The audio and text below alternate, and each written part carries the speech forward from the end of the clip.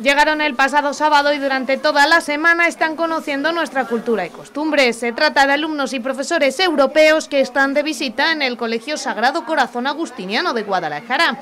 21 alumnos y 13 profesores de distintos países con motivo de la participación del centro en el proyecto Erasmus Plus, Stories Bring Us Closer.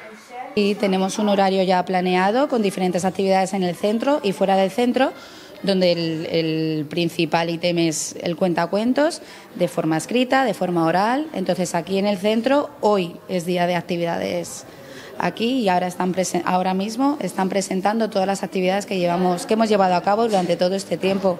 Mañana, por ejemplo, nos toca excursión a Madrid, donde visitaremos el Bernabéu y luego haremos una, una visita guiada por todo Madrid. De Croacia, Grecia, Italia y Suecia vienen alumnos y profesores e intercambian los conocimientos adquiridos durante tres intensos años de trabajo, teniendo claros cuáles son los objetivos que persiguen.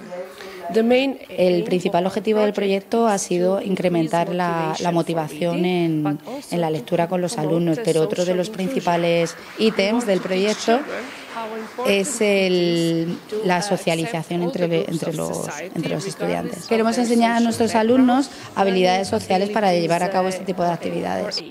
Una experiencia que es 100% positiva para los alumnos, como destacan Juana e Inés, de sexto de primaria.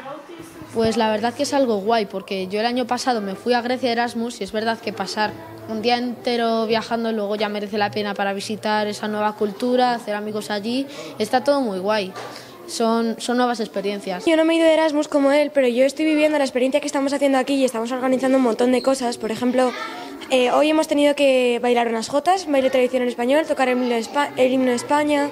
También nos vamos a ir al Puy de Fu y hacer actividades con los que vienen.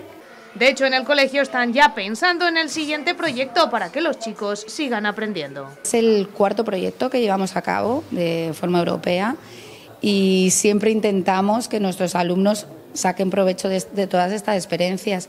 Ya hemos solicitado el siguiente proyecto Erasmus para el siguiente año, pero no depende de nosotros que nos lo den. Una semana pues muy importante para este centro escolar de la capital que trata de estar siempre a la vanguardia.